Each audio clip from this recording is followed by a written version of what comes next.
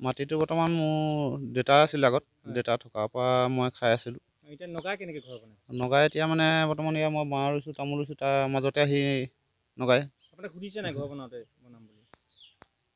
সুধোঁতে সুধিছিলে হ'লেও মই কৈছোঁ এইটো আমাৰ দেউতা দিনৰ মাটি। উম।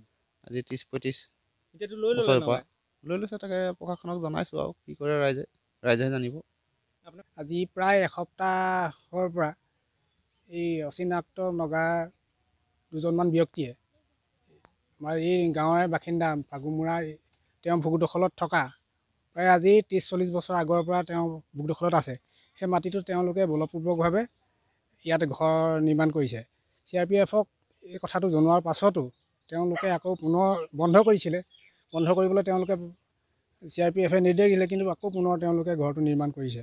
গতিকে- শংকিত হৈছোঁ? সীমান্তবাসী অঞ্চল শংকিত হৈছোঁ। গতিকে এই ক্ষেত্ৰত গোলাঘাট জিলা প্ৰশাসনে বিহিত ব্যৱস্থা ল'ব লাগে। সীমান্তৱৰ্তী ৰাইজৰ জীৱন আৰু সম্পত্তিৰ নিৰাপত্তা সুনিশ্চিত কৰিব লাগে।